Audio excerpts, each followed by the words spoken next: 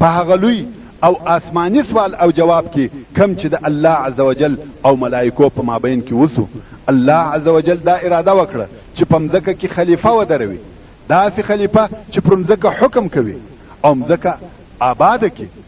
الله عزوجل غوښته چې مځکه آباده سي او پیرانان تر دغه کم و دا استعداد یې نه درلودی چې مځکه آباده کې او دون عقل یې نه درلودی چې مځکه دي آباده کړي. علماء کرام د جن د عقل په باره کې وايي چې هغه هوښیارترین پیری د لس کلن هلک په اندازه عقل لري نو دوی دا قدرت او عقل نه درلودی او نه لري چې مځکه دي آباده کړي مګر انسان په احسن تقویم کې پیدا سوی دی الله عزوجل په ښه او تر ټولو ښه صورت انسان پیدا کړی او جوړ کړی دی الله عزوجل په خپل لاسو خلق کړی دی او خپل روح یې پکښې پوکلی دی نو کم وخت چې الله عزوجل وفرمایل چې زه په مځکه کې خلیفه پیدا کوم ملایکو پوښتنه وکړه چې آیا ته په مځکه کې هغه څوک پیدا کوې چې هغه به په دا مځکه کې فساد کوي او په ناحقه سره به وینې تویوي او حال دا چې موږ تسبیح وایو ستا ثنا وایو او تا ته د پاکۍ نسبت کوو الله عزوجل وفرمایل بېشکه په هغه اسرارو زه پوهېږم چې تاسې نه په پوهېږئ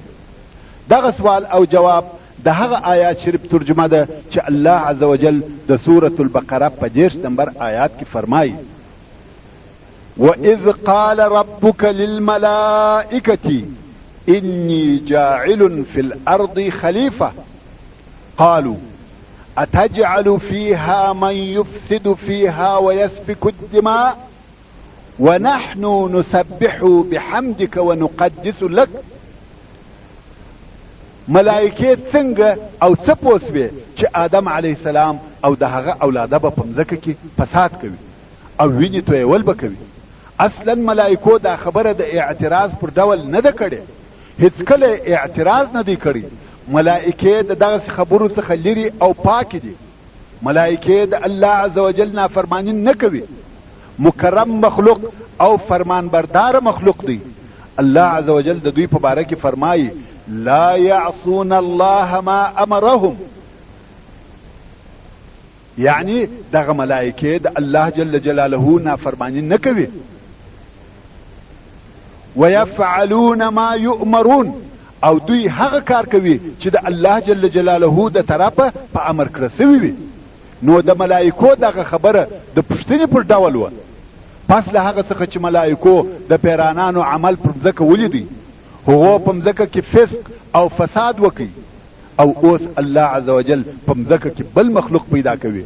نو دوی ویل شاید هغه هم فساد وکړي لکه پیرانانو چې فساد وکړي نو ځکه ملائکو د پوښتنې پر ډول وویل اتجعل فيها من يفسد فيها فيها ويسفك الدماء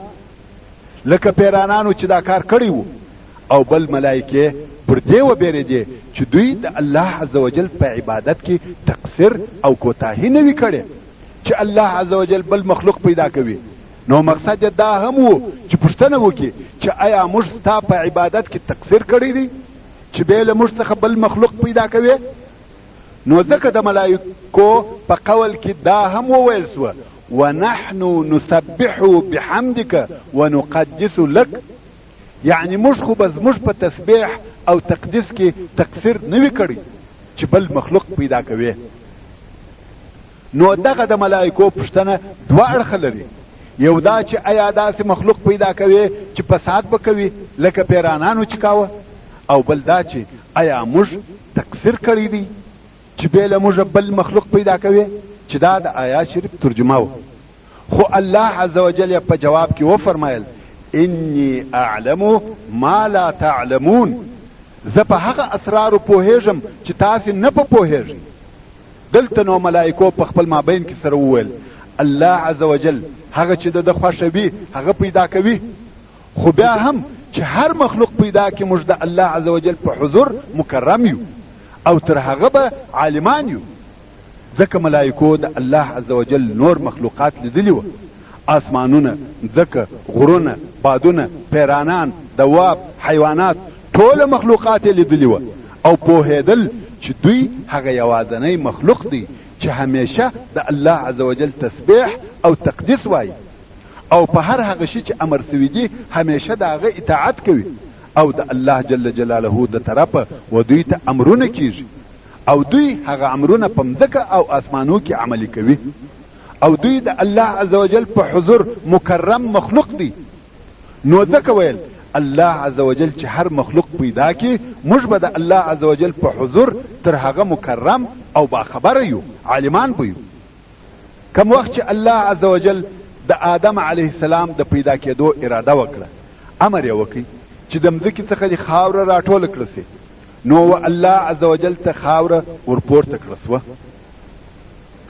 په هغه حدیث شریف کې چې امام احمد ترمذي ابن حبان او نور یې روایتوي رسول صلی الله علیه و آله وسلم فرمایي ان الله خلق آدم من قبضة قبضها من جميع الأرض فجاء بنو آدم على قدر الأرض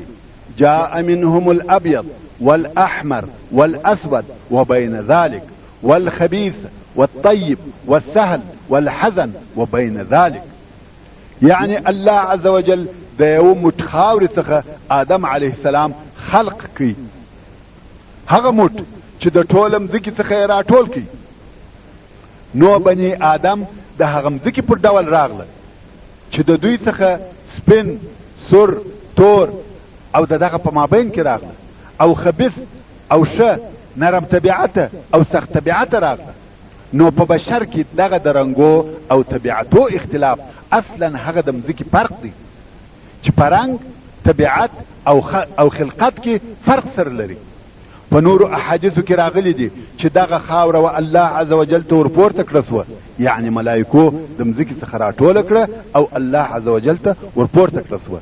او دغه خاوره لنده کړه سوه خټې ځینې جوړې سوې او بیا دغه خټې پخې کړه سوې غاز یې پیدا کړي چې سره موږ دی چې په عربي کې طین لازب ورته ویل کېږي پخه غازداره خټه او بیا الله عزوجل په خپلو بلا کیف مکرمو لاسو د آدم علیه السلام شکل مجسمه جوړه کړه او دا هم په آیات شریف کې راغلي دي چې الله عزوجل د سورة الصاد په پنځه اویا نمبر آیات کې فرمایي